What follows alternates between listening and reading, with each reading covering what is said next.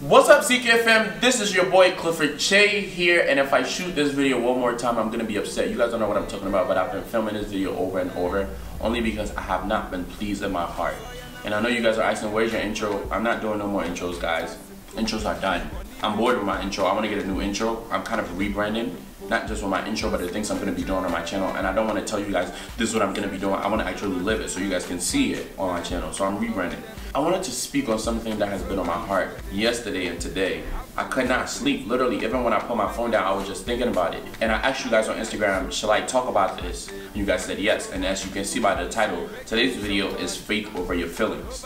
And I've been in so many situations where my feelings had a, had a hold of me and I'm still in situations sometimes where my feelings control the things that I do and I hate that. I don't I don't know about you, but sometimes my feelings really get the best out of me and, and it's not the cutest thing ever. And I know that if in moments where I didn't feel like doing this YouTube thing, it was if in moments where I didn't have the passion that I had in the beginning for YouTube and so I just wanted to quit.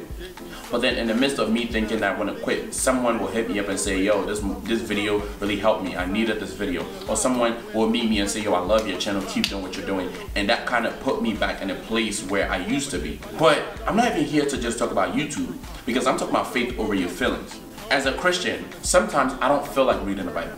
Sometimes based on the things I'm going through, based on the things I'm facing, I do not feel like praying sometimes it's not even that something is, necessarily wrong with me or something happened to me. Sometimes I just don't feel like having fellowship. I don't feel like going to church.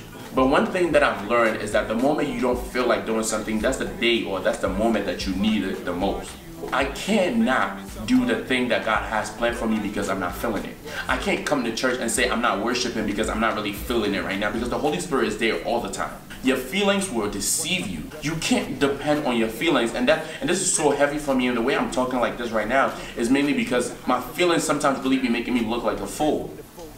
And that's what our feelings want us to do. It want us to have you looking like a fool out here. And I'm tired of looking looking like a fool. It's not it's not happening. It's not. And so, with that being said, what is faith and what is feelings? Because I looked it up on Google. Google said, faith, complete trust in God without any question or firm belief in something for which there's no proof. Feelings, an emotional state or reaction that is easily moved. I'm gonna read that again. Feelings is an emotional state or reaction that is easily moved. And so the reason why I'm telling you to choose your faith over your feelings is because my feelings is easily moved. Sometimes I could be good in a day, and as soon as a little something little happen, it's like I'm not even a Christian anymore. And that's what our feelings do to us. It's not that the feelings is necessarily bad. Sometimes we need our feelings, but it cannot be in control of who you are as a person. Yesterday night, I was reading Hebrews 11, chapter 1. And then I ended up reading the whole chapter. But one of the things I realized about the whole chapter as it was going was that it was talking about the prophets in the Bible, from Abraham to David to Abel to whoever. And one of the things that I picked out about their lives is that they was not feeling it sometimes. There were moments where they wasn't feeling it. There were moments where when God promised Abraham the promise, he wasn't feeling it based on what he's seen. He was like, you're telling me I'm going to have a child, but I don't even have any child. You're telling me you're going to make my name great, but I don't even have any child. So what are you talking about? But one thing that he never stopped doing was to serve God, even though he wasn't feeling it. He kept and it wasn't just him. All the prophets kept doing the same thing even when they didn't feel it.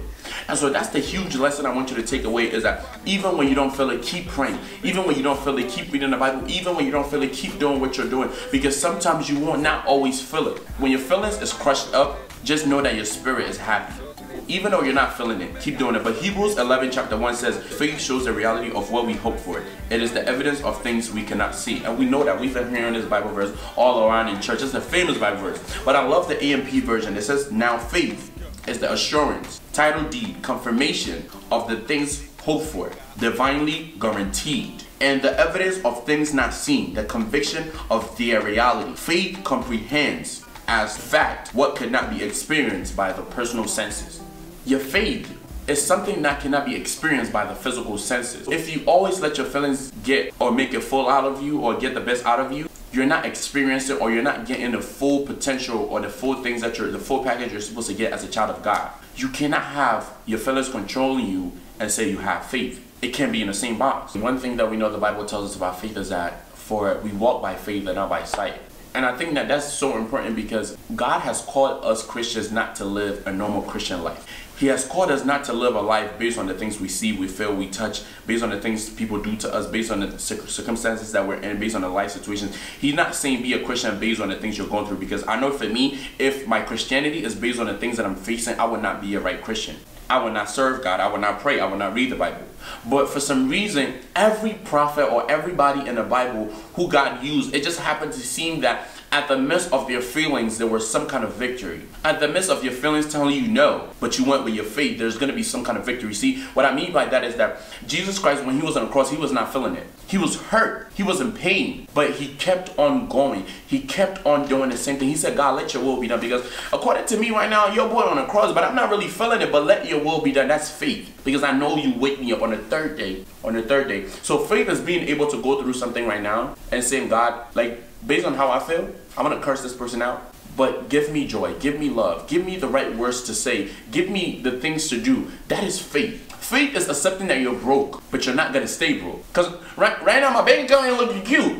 But I know I'm not gonna stay broke. And so today I want you to kind of walk into your day just having this mindset that whatever you're going through, you're not gonna stay in it. That's faith. Your feelings is trying to tell you this is all you have, this is all God has for you. Why am I going through this? Da, da, da, and you're accepting this for your life. And God is saying, live by faith and not by sight. Because if you look at your life right now, yeah, look at how mess, but by faith, you know that God will pull you out.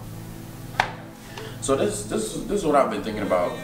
Hope it helped y'all, but um there's gonna be a lot of changes and I just I just I just want you guys to be on my journey too as we're all growing as I'm bridging the gap between you and me and with Christ. Um, I want you to know that I'm not perfect. I don't always have the, the answers. I don't have all the answers. Um, I'm growing too. So that's the season I'm in. Learning to trust God even when I don't feel it. Don't forget to be blessed. Be yourself and be happy.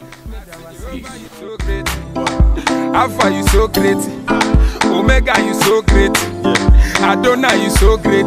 I say before I be nobody you Don't show you making me somebody. Jehovah you so great So great So great. I say